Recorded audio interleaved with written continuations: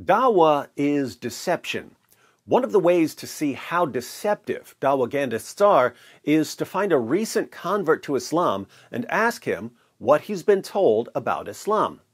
Hatun Tash just did this at Speaker's Corner. A new convert to Islam was apparently amused by the Dawa gang heckling Hatun, so Hatun asked him what he thought about Muhammad's relationship with Aisha. Watch how he responds. Yeah, but from what I heard, is that um, so you're talking about Aisha, yeah? Like basically, I heard because I don't know, but honestly, I don't know. So you are Muslim and you don't know? Yeah, but I don't know about the historical truth necessarily. Yeah? It's, uh, I don't know. I don't think she's even mentioned in the Quran. Yeah, but I heard that uh, her age being that low, it only comes from one book. But there's like hundreds of other books that say I'm that she was sorry, much older. I am sorry that you've been lied to. Did you catch that? He's heard that the story about Aisha being a little girl only comes from one book, but that there are hundreds of other books that say she was much older. I heard that uh, her age being that low, it only comes from one book. But there's like hundreds of other books that say I'm that she was much older. I am sorry that you've been lied to.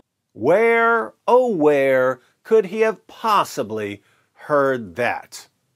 That's what the Dawagandists told him so that he wouldn't be concerned about Muhammad's relationship with Aisha. And as Hatun pointed out, what he was told was a total lie. Muhammad marrying Aisha when she was six or seven and having sex with her when she was nine is found in dozens of hadiths, and there isn't any hadith that says she was much older.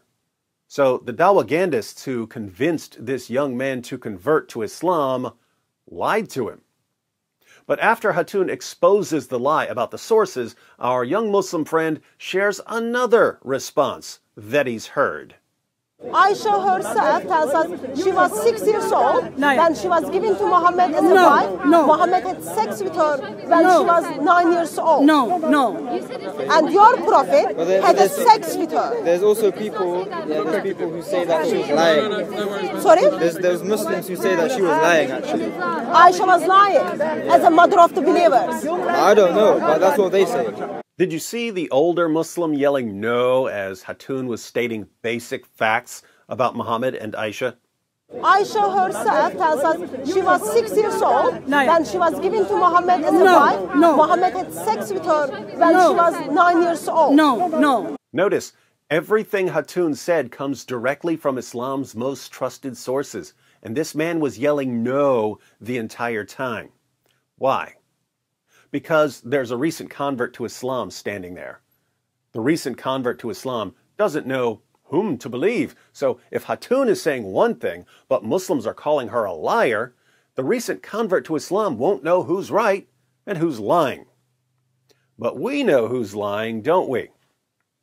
Then we had the other response from the young Muslim, namely that Aisha may have been lying about her age. It's much more common for Dawagandists to say that Aisha just didn't know how old she was, and so she made a mistake. Then you have Shabir Ally, who claims that Aisha was deliberately exaggerating how young she was. But at the end of the day, when the Dawagandists are trying to convince someone to convert to Islam, they'll make up anything to win their convert and get a new notch on their Dawa belt. So this guy just doesn't know that it's a historical fact that Muhammad had sex with a little girl. But Hatun asks him, hypothetically, if he would have a problem with his prophet having sex with a child. Pay attention to the older Muslim trying to distract everyone.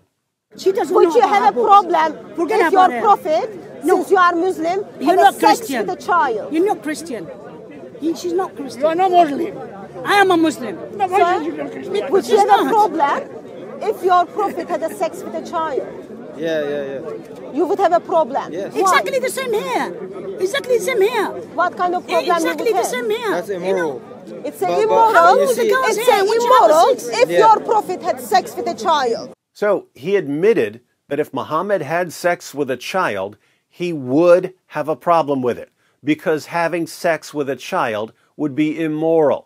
Would you She's have a problem if your prophet had a sex with a child? Yeah, yeah, yeah. You would have a problem. Yes. Why? Exactly the same here. Exactly the same here. What kind of problem Exactly you the would same here. That's You know?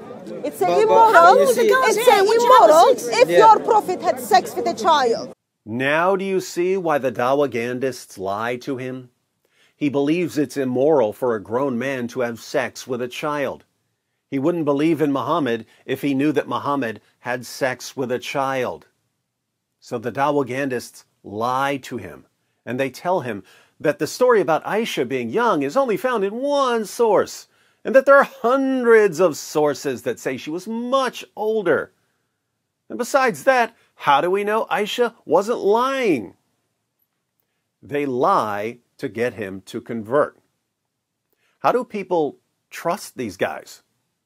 If they're lying to you about Aisha, what else are they lying about?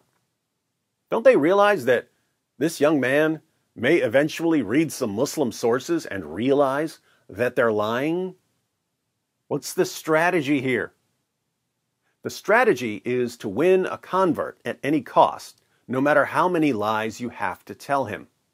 Get him to convert and then begin to condition him. Over time, you can condition him to never question anything Muhammad did and to mindlessly praise Muhammad no matter what. And after a few years of this, if he finds out that Muhammad had sex with a little girl, he'll no longer have a problem with it. Because by that time, Muhammad will be the standard of morality. It obviously can't be wrong for Muhammad to have sex with a child when Muhammad is the standard of morality. That's the strategy. Lie to the new recruits until you've had time to brainwash them.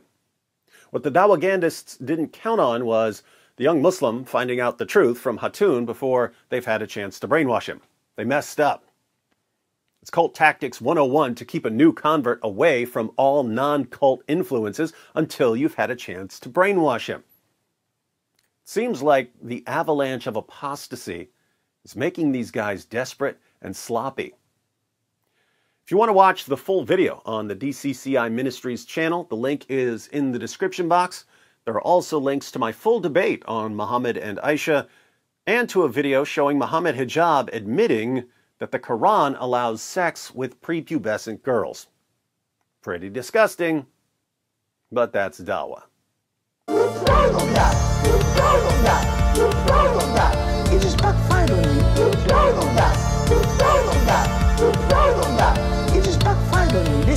Of religion. There's a reason to it. Yeah? Yeah?